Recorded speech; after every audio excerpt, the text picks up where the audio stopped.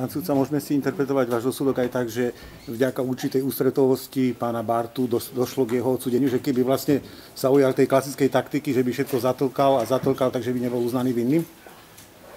Ta otázka je hodně návodná a já se pokusím přeformulovat to, co tady vypověděl pan obžalovaný Bárta, ty skutečnosti, které popsal a které objektivně hodnotíme jako doznání, skutečně podstatně přispěly k tomu závěru, který byl, že byl, odsouzen, že byl tedy uznán vinným. Ano.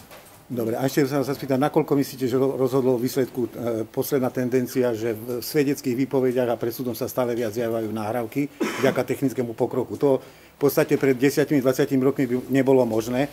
A vďaka iPhoneom a týmto sa vlastne zmenilo dôkazové konanie pred súdom. Nakoľko tieto veci odohrali význam o jeho, v jeho usvedčení? Usvědčení pana Bárty, myslíte? Ako obžalovaný. Spíše svědčují naopak o prospěch jeho verze. A pokud jde o celkový význam pro trestní řízení a pro výsledek soudu, tak se nepochybně jednalo o závažné důležité důkazy, protože konec konců objektivně zachycovali to, co mezi sebou v určitou dobu určitě lidé si říkali. A jinak máte pravdu v tom, že nahrávky byť ne, takové povahy se vyskytují ve spisech čím dál častěji, ale to spíše souvisí třeba i se všudy přítomností kamer. Tak. No ale ako myslíte, bude reagovať na tú justíciu? Lebo to stále priťahne e, súdne konania, sú to dlhé nahrávky, sú to vlastne zápisy. Ako to bude mať vplyv na justíciu do budúcna? Vidíte v tom, že bude sa musieť zmeniť zákony? v súvislosti s tým, že existuje tá možnosť. Niekedy to, týmito nahrávacími zariadeniami disciplinovali iba e, tajné inštitúcie. Dneska každý človek má nahrávacie zariadenie. Každý sa všade nahráva. A, ale já nevím, jak by se v této souvislosti měly měnit nebo z jakého důvodu zákony. Tou nahrávkou vzniká určitý důkaz a je potom na posouzení soudu, zda takový důkaz je možné provést nebo není možné provést. Mimochodem není to úplně snadná otázka, eh, v případě právě nahrávek pořizovaných soukromně.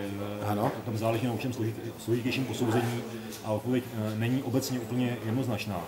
Takže nevím, jakým způsobem by se dali změnit zákony, aby se tomuto zamezilo, protože konec konců všichni víme, že i organizace, které bojují proti korupci, doporučují jako jedno z doporučení pořizovat si takové nahrávky.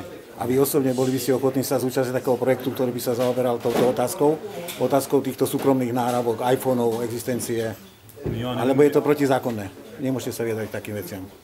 Já nevím, jak bych takovému k něčemu podobnému mohl já přispět. A pokud jde o otázku, zda je to protizákonné, tak samozřejmě máte pravdu v tom, že pořizování takových projevů může být z hlediska občanského zákonníku zásahem do práva na ochranu osobnosti nahrávaného. To je jedna věc. A druhou věc je potom posoudit, zda je možné i přesto takový důkaz hlavní líčení provést nebo neprovést. Soud v tomto řízení ty důkazy provedl a žádná ze stran tomu od počátku neměla žádné námitky.